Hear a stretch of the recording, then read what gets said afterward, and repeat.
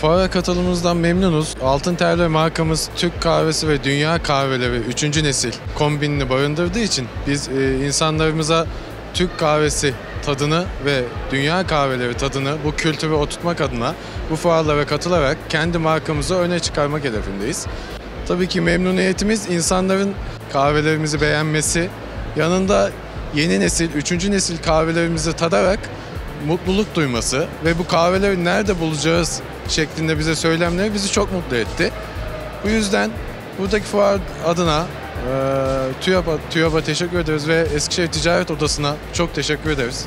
Ticaret odamızın açmış olduğu bu fuar alanı Eskişehir'imizin önemli bir eksiğini tamamladı. Buranın açılması, e, ilgi görmesi önemli. Hem fuar ekibine hem buraya katılan firmalara hem de Eskişehir halkımıza mutluluklar, başarılar diliyorum. İşte açalı birkaç ay oldu ve burada arda arda çok büyük fuarlar yapılıyor. Bugün de bunlardan gıda fuarındayız.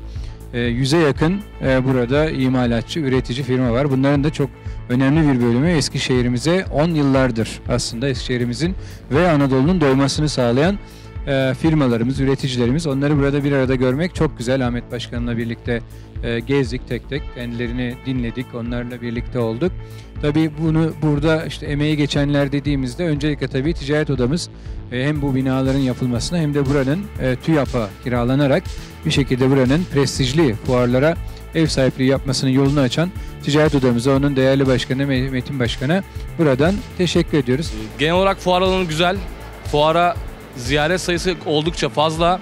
Standımıza ilgi güzel, hoşumuza gidiyor. Daha çok mağazamıza yönlendirmeler yapıyoruz.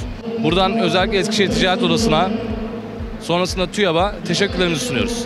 Bundan önceki fuarımızda katılım 48 bin civarındaydı.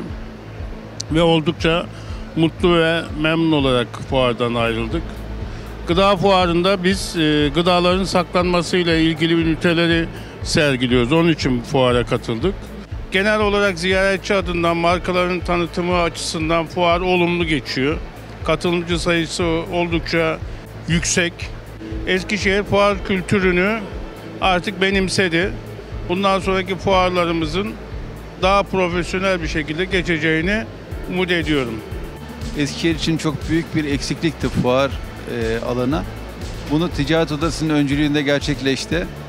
Çok güzel bir fuar organizasyonu yapıldı. Emeği geçen herkese çok teşekkür ederim. Fuarımız Eskişehir için hayırlı uğurlu olsun. Çok eksikliğe giderildi. Başarıların devamını daha üst ülkeler dilerim. Eskişehir Ticaret Odası